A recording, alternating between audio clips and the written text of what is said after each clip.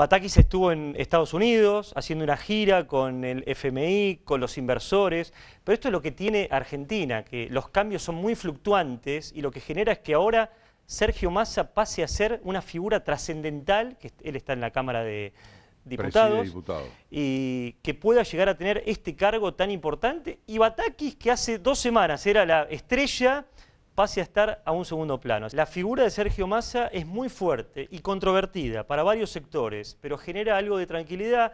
Él es el que vendría a ser un mediador entre Argentina en lo que tiene que ver Alberto Fernández y Cristina. Es el que trata de calmar las aguas para que ellos se, lleven un poquito mejor dentro de, la situación mala que hoy tienen eh, en esta relación bipolar que lleva Alberto Fernández con Cristina. Pero Massa dio cierta tranquilidad porque está de ambos lados, así que veremos las próximas horas, son claves. Dificilísimo, porque el ciudadano a pie, como yo siempre les cuento todas las semanas, está cansado de que no haya un buen diálogo institucional, que las partes se junten, que haya reciprocidad con ciertas ideas claras y un proyecto.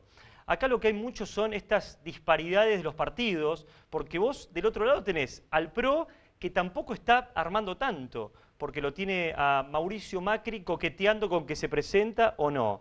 Patricia Burlich, que firme, que está ya lanzada hacia su candidatura. Horacio Rodríguez Larreta, firme en Capital Federal.